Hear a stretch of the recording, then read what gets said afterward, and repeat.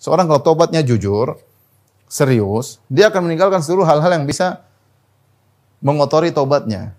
Hal yang tobatnya masih terkontaminasi dengan masa lalunya benar-benar dia hilangkan. Benar-benar dia hilangkan hal yang bisa membuat dia kembali lagi. Itu namanya tobat nasuh. Seorang makanya ketika bertobat dia berjuang. Hal-hal yang misalnya masih ada foto-foto kayak, masih ada gambar-gambar kayak, masih ada video-video kayak, atau masih ada link-link kayak, masih ada grup-grup, hilangin semua. Bersih, subat-subat dia buang semua, tidak baca-baca lagi sudah semua. Karena dia benar-benar membersihkan tobatnya, dirinya dari segala hal yang buat dia tadi terkotori sehingga terjerumus dalam lumpur kemaksiatan.